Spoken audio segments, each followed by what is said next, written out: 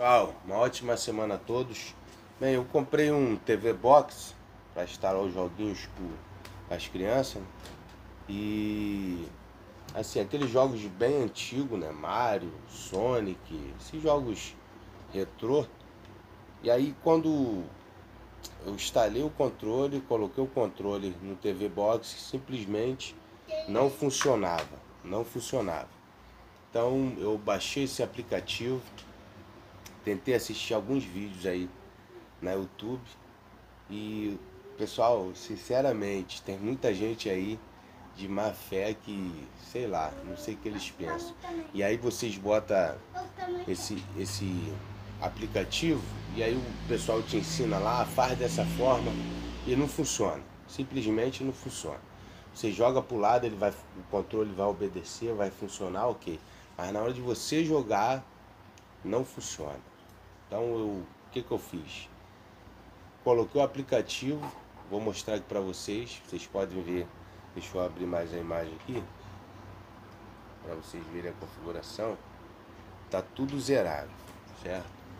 É, eu já configurei esse aplicativo, já configurei para o TV Box. Agora eu vou mostrar para vocês como fazer da maneira correta. Lá no canto, onde está o cursor do mouse lá, você vai ativar ali, certo? Vai jogar na última opção, USB Joy Free Image. Vai jogar nessa opção, ok? Ficou amarelinho lá. E agora, deixa eu dar um zoom aqui para ficar um pouquinho melhor. Agora você vai mandar procurar. Isso controle já no aparelho. Ele vai escanear e ele achou o controle. Você vai apertar em cima ali do controle, ele vai abrir embaixo. Ele abriu ali o painel de configuração, certo? E aí o pessoal nos vídeos é simplesmente eles fazem isso. Eles fazem o primeiro passo, ok, e manda você salvar ali, ali à direita ali, ó, salvou já está funcionando o controle. Só que não é bem assim. Então vou mostrar aqui para vocês a melhor maneira de configurar esse controle para ele funcionar de fato quando você for jogar. O meu já está configurado, ó. vocês podem ver. Deixa eu baixar um pouquinho aqui, ó. Eu aperto aqui, ele está funcionando, ó. Tá legal, já configurei. Então, repare bem na imagem, ó. Left, right, up, down, certo? Tá aí, não, não se porta muito com o meu inglês não, porque é inglês do Paraguai mesmo. Então tá aqui, ó. Esse, ó, esquerda, esquerda, direita, direita, cima, deixa eu voltar ali, ó, para baixo. E aqui, ó, vê que tá um conflito, ó. Para cima, ele tá no X, quando na verdade para cima deveria estar tá aqui, ó. O up, ó. Deixa eu colocar ali agora. E aí o que, que você vai fazer? Vou apertar aqui, ó. Ó. Vou apertar em cima e vou apertar aqui no controle para cima, certo? Agora ele foi. Agora eu vou botar aqui, ó. Agora quando eu aperto para cima, ele está reconhecendo o comando correto agora. Ó, para cima, para baixo, esquerda, direita certo? Agora, os, os botões. Em, algum, em alguns aparelhos, pode ser que mude um pouco aqui as letras, a palavra ali, certo? Mas eu vou mostrar aqui como está no meu aparelho aqui, ó. Deixa eu vir aqui. Quando você instala esse aplicativo, ele não vem do jeito que vocês estão vendo aqui. Aqui já está porque eu configurei né, o select. Aí você aperta o select no controle, ó. Agora sim, funcionando. Start. Vou apertar aqui, ó. Start. Funcionando no comando certo ali da configuração do aplicativo.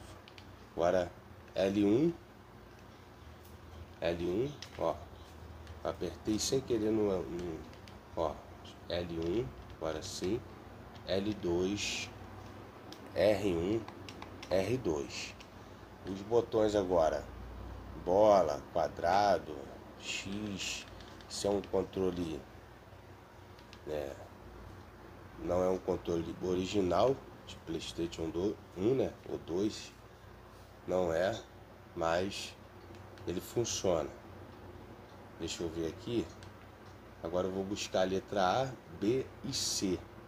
Que são as letras que eu vou colocar aqui para funcionar no controle.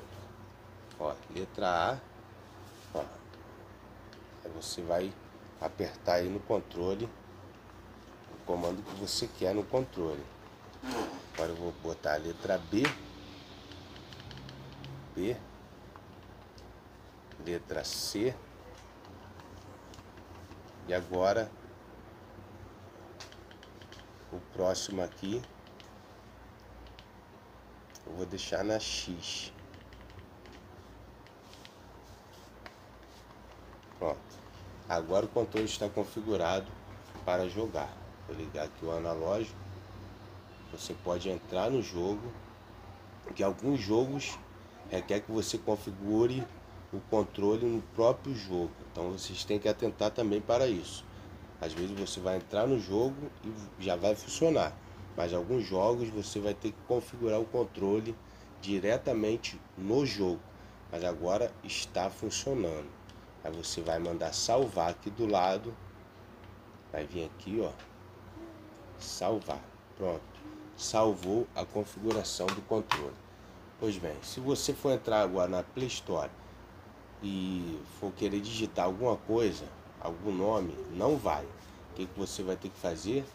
Desabilitar o joystick.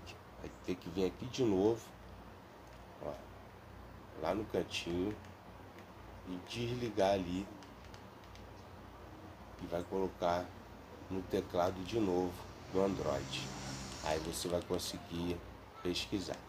Então é isso aí, pessoal. Espero ter ajudado vocês. Fique com Deus, uma ótima semana, um forte abraço.